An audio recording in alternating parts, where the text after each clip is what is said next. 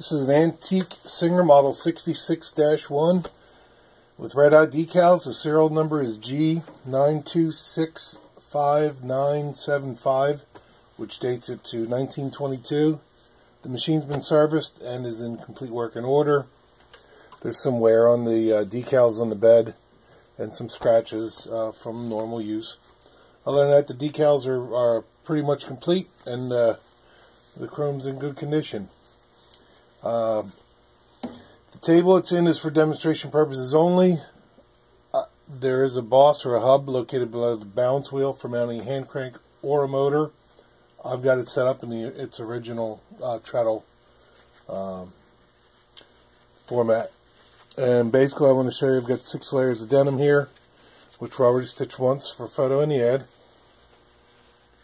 And just to show you how well it stitches.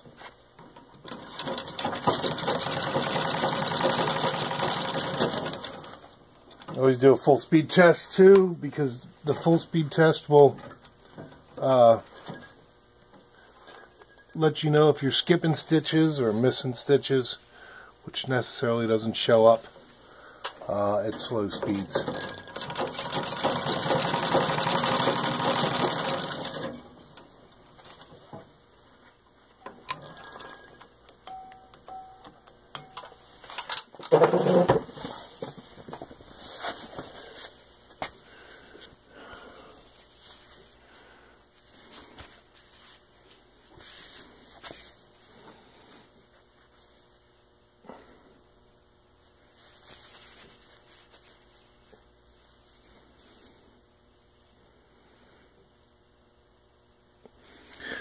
There you can see it's got a good stitch with no skipped or broken stitches.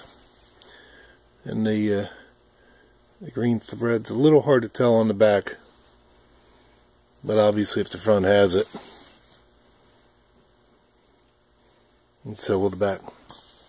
And there you have it.